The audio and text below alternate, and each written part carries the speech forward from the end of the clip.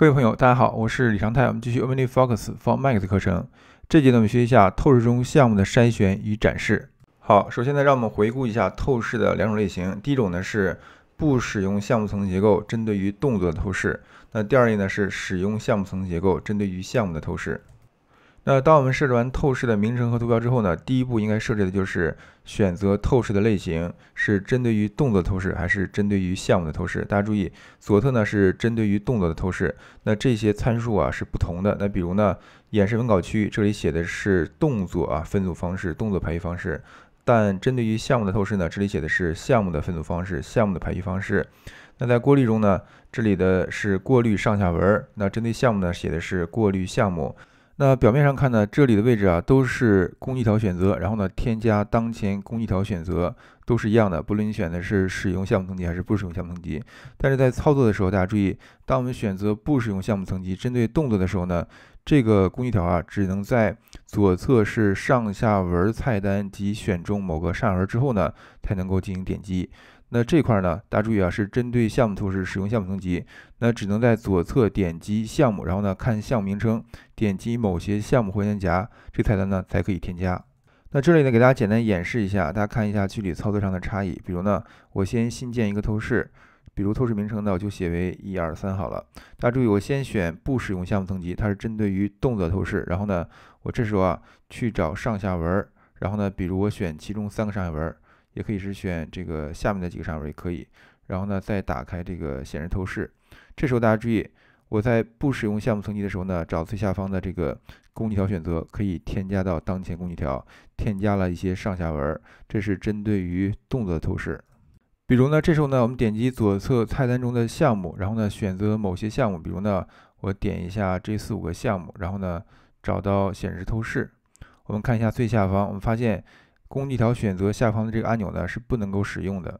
那假如说呢，我回到最上方，在这个项目层级这儿呢，选择使用项目层级，也就是针对于项目的透视，我点一下，然后呢到下方看一下，因为我之前啊在项目菜单中呢已经选择了几个项目，这时我们发现这个按钮啊，这个工具条选择下方的按钮啊是可以选择的。我们点击一下，发现呢已经添加到下方了。那比如呢，这时候呢，我点一下左侧菜单中的上下文，然后呢我们再找到显示透视。然后呢，我们看一下下方的工具条啊，大家注意，我当前其实已经选中上文，那为了对比明显呢，我再选中几个，好，比如选中这四个，然后呢，到显示透视里看一下，大家注意啊，这个工具条呢是不可选的，也就是说，当我们项目层级中选择使用项目层级的时候呢，那下方这个工具条选择啊，只能在项目中挑选一些添加，不能在上下文中选择进行添加。那当我们在项目层级中选择的是不使用项目层级，针对于动作透视的时候呢，只能在上下文菜单中选择一部分进行添加，不能在项目中选择一些添加。那相信大家看到这里呢，大家对最下方的工具条选择呢有了一定了解，但是呢并没有完，大家需要注意一点，当我们使用项目层级选择这个选项的时候呢，最下方虽然可以进行工具条选择，也就是说在项目菜单中选择一些项目。但是实际上，大家注意啊，选择的这些项目呢，并没有任何作用，也就是说，它并没有参与到整个透视中数据的筛选，这个选择啊是没有任何实际意义的。那关于这知识点呢，我做过多次的测试，测试了很多方案和组合。那我发现呢，在使用项目层级的时候呢，最下方的工具条虽然可以使用，可以在项目菜单中选择一些项目在这里展示，但是这个确实没有任何实际的作用。那我个人认为呢，这是在软件设计过程中的一个小的一个纰漏。那关于这个知识点呢，如果大家有不同的观点呢，欢迎大家给我留言。那其实呢，不止我们刚才看到这些文字的差异，其实很多子选项啊也是有差异的。那在后面呢，我会给大家详细的介绍。在本节呢，主要讲解的是针对于项目透视，一方面呢会讲解一些参数的含义，另外一方面呢也会给大家讲解一些案例。好，首先让我们看一下演示文稿区域。首先看项目分组方式。那项目分组方式呢，相对于动作分组方式啊，增加了文件夹和下一次检查两个选项，但是呢，减少了上下文，减少了项目，减少了已标注。接下来我们看一下项目排序方式。那项目排序方式呢，相对于动作排序方式呢，增加了一个未排序，增加了一个下一次检查，但是呢，减少了上下文，减少了项目。好，接下来我们看一下过滤。那针对于项目的按状态过滤呢，相比较针对于动作的按状态过滤呢，减少了四个选项，包括即将到期、截止或已标记、截止并已标记、截止并未标记。那按可用性过滤呢，和针对于动作透视这个选项啊是一样的，没有变化。那这里的按持续时间过滤呢也没有变化，但这里的过滤项目，大家注意啊，这里是过滤项目。那之前的按动作的透视呢是过滤动作。那这里呢增加两项，一个叫做待定，一个叫做已完成。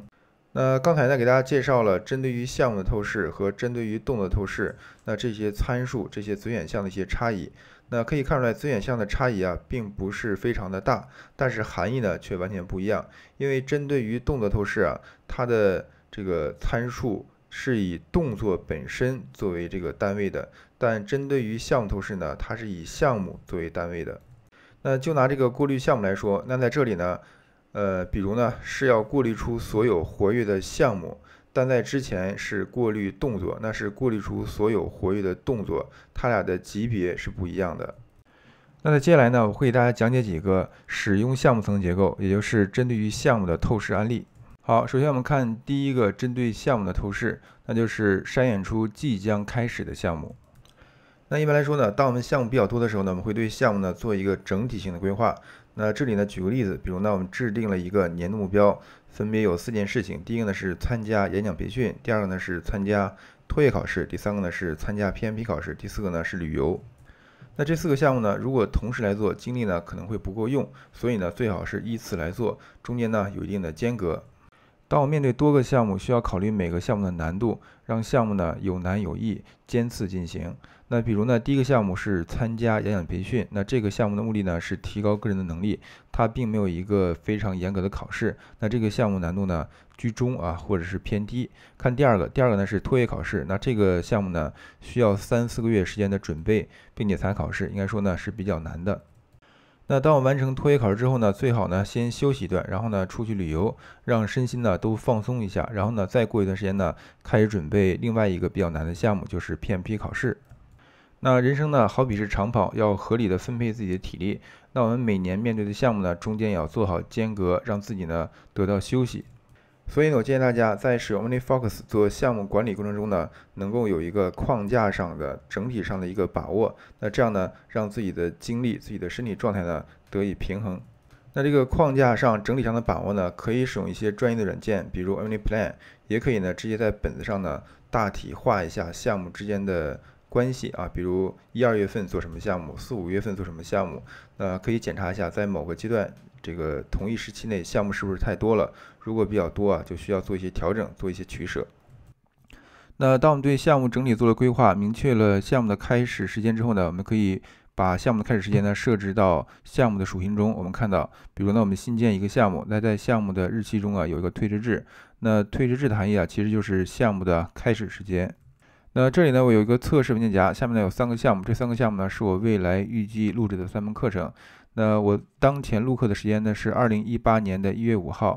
那我分别规划了一下三门课程的时间，比如呢，第一门课程 OmniGraph 课程呢是在一八年的二月一号开始录制，然后呢，我先暂时不设置截止时间。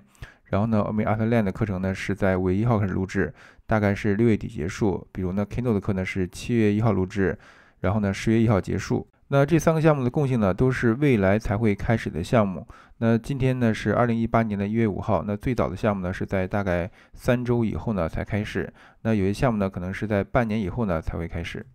那这个时候呢，我们会有一种需求，虽然呢我们今天呢并没有开始这些项目，但是呢我们可以提早为这些项目做一些准备，比如呢提早组织项目的一些计划，提早做一些前期的一些准备。那这时候啊，我们希望能有一个入口啊，有一个连接，点击之后呢，能看到即将开始的项目。那这时候呢，我们就可以设置一个针对项目的透视。那这个透视呢，我们可以叫做即将开始的项目。当然，前提是有一些项目已经设置了推迟至时间。大家注意啊，推迟至时间呢是必须要设置的。那到期也就是截止时间呢，可以不设置。好，首先我们新建一个透视。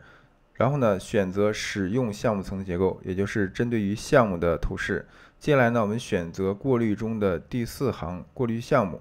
呃，点击这一行，看到有一些选项，大家注意，我们选择待定。那待定呢，呃，也就是 OmniFocus 的这个英文版啊，这个词呢是 pending。pending 呢，如果翻译的话是未决的、待定的、未定的或者即将发生的。其实我认为即将发生的这个解释呢含义更加贴切，但这里用的翻译呢是待定。那不论怎么翻译呢，大家理解这个词的含义就是即将开始的项目。好，我们设置完过滤项目，然后呢，再设置一下这个透视的名称，就叫做即将开始项目好了。然后呢，设置一个图标。接下来我们到 OmniFocus 的首页看一下。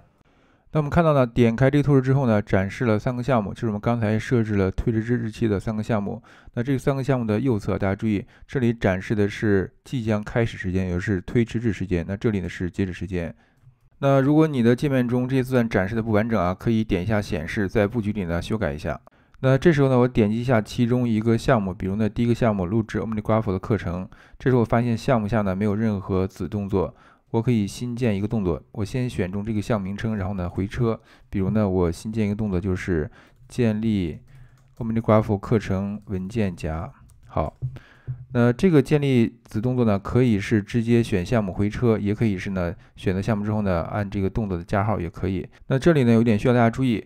针对于项目的透视呢，在 Mac 版下呢是可以新建子动作的，可以建立子动作，甚至是多层的动作。但是在 iOS 版呢是不能建立子动作的。这指的是针对于项目的透视。好，最后呢，我们总结一下这个即将开始项目的透视。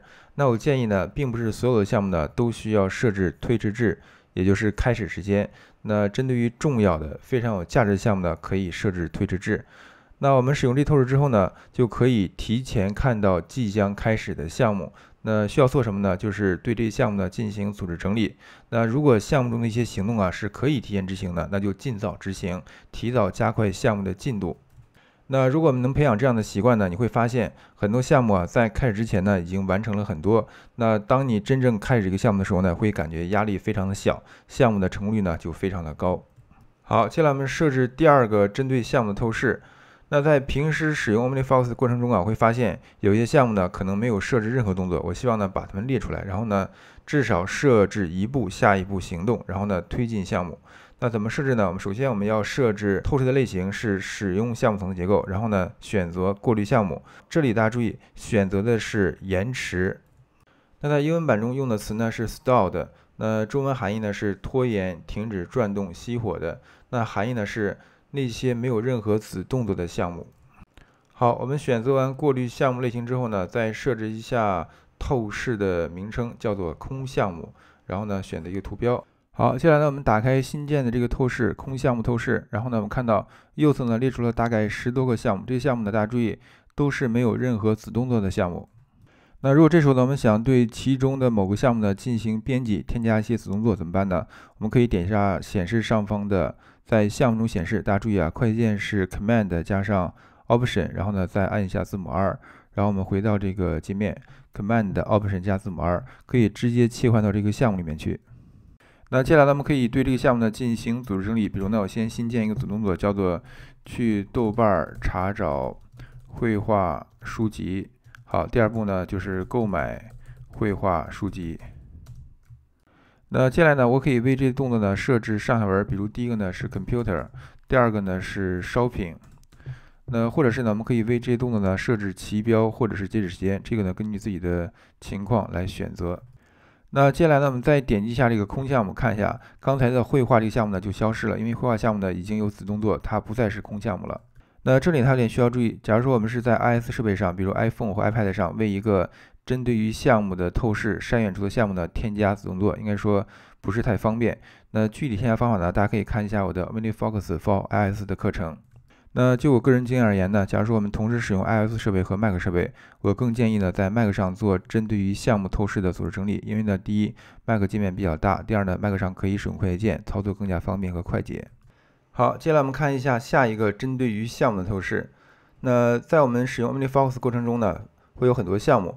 但是呢，有很多项目呢长期没有操作。大家注意，这个长期没有操作啊，指的是虽然这个项目下面呢有一些动作，有一些组织结构，可能有多个层级，但是呢很久没有编辑了。我们想找出这些项目。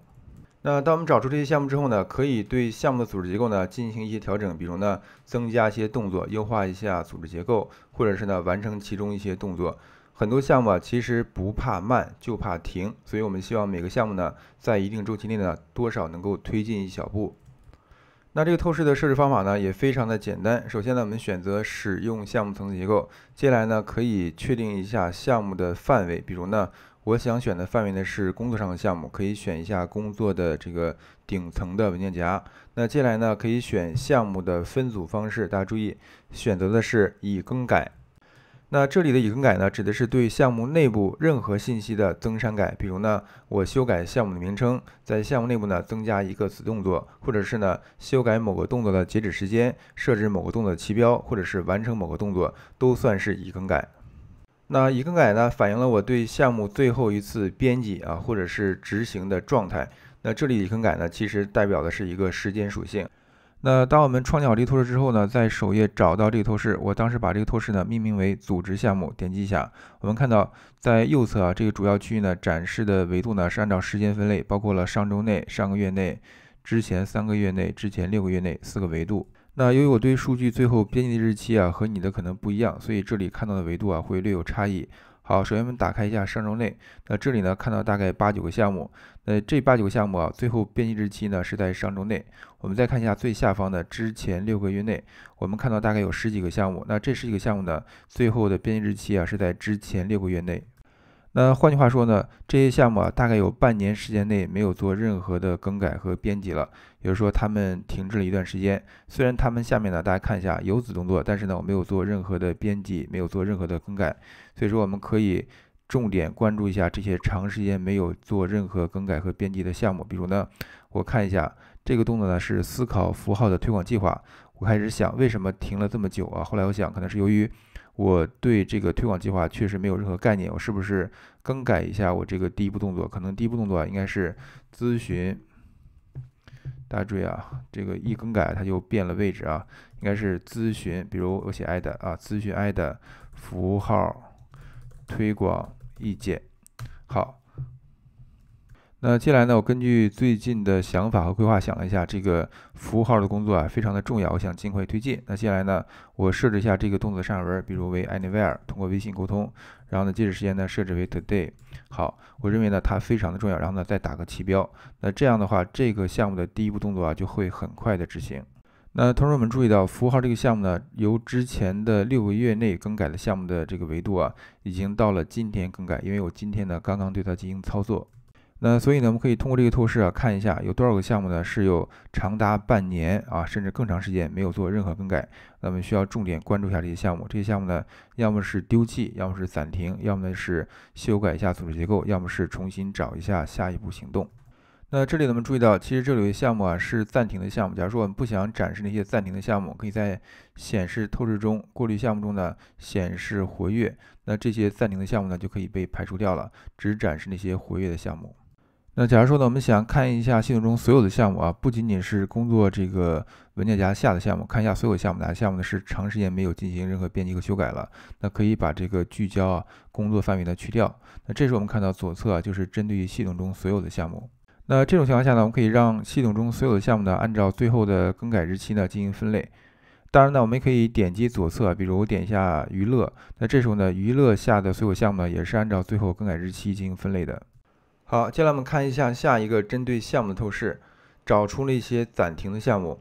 那我们项目比较多的时候呢，就会对一些项目呢进行暂停。这些暂停的项目呢，当前并不适合执行，以后再做。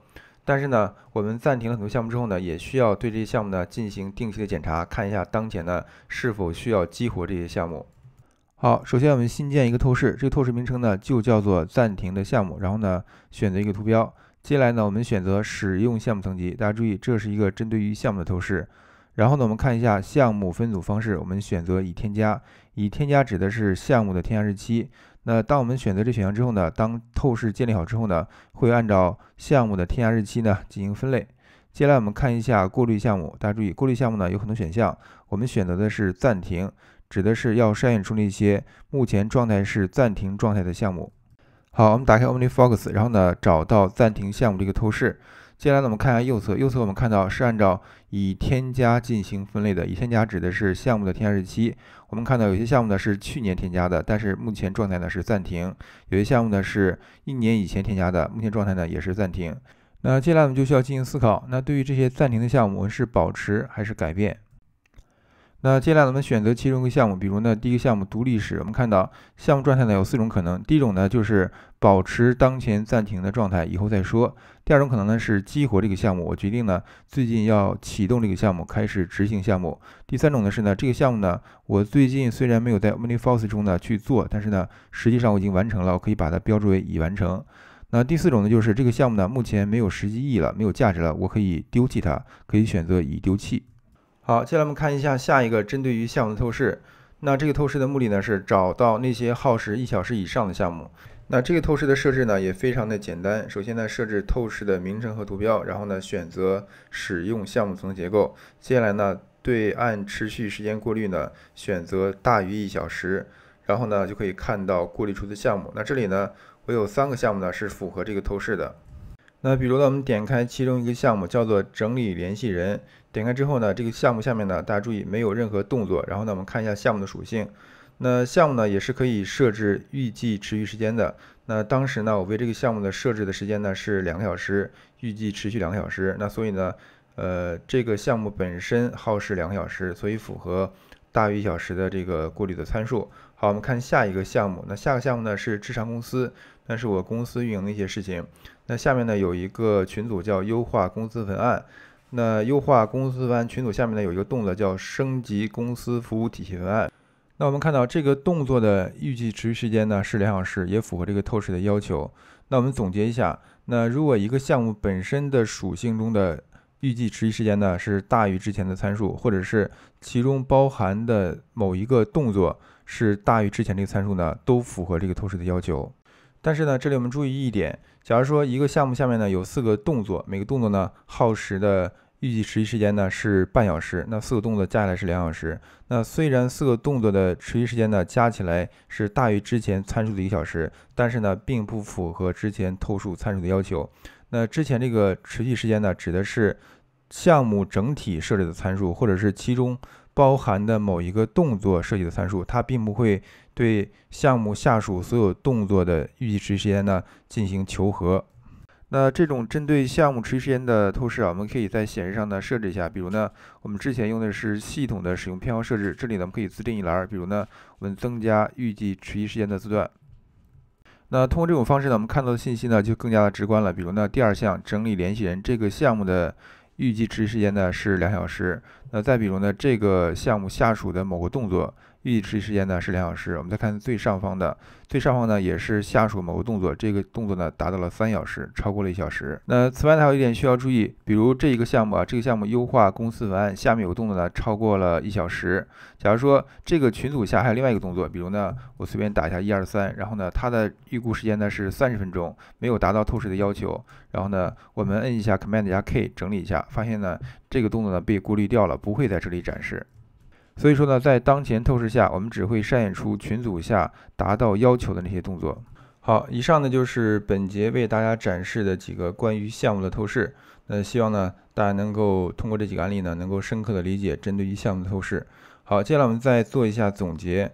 那使用项目层结构的透视呢，我认为啊更侧重于组织整理啊，并不是说它不能做执行，但是应该说是更侧重于做组织整理。那不使用项目层结构的透视，也就是针对于动的透视呢，更侧重于去做执行。当然，它可以做一些组织整理，但我认为更侧重于做执行。那此外呢，其实这两种透视啊，也可以做一些回顾。那当然，我在这方面尝试的会比较少。大家如果有需要呢，可以根据自己的需求呢，设置一些能够进行回顾的一些透视。好，接下来我们看一下如何删除一个透视。删除透视的方法呢很简单，先打开透视，然后呢选择其中一个透视，然后呢点击左下角的这个齿轮，然后呢看到删除透视的按钮，点击一下，那这个透视呢就删掉了。那这里还有点需要注意，当我们在 Mac 版删掉一个透视之后呢，在 iOS 版呢也会删掉这透视，这个透视的删除啊是同步的。好，以上呢就是本节课程的全部内容，谢谢大家，我们下节再见。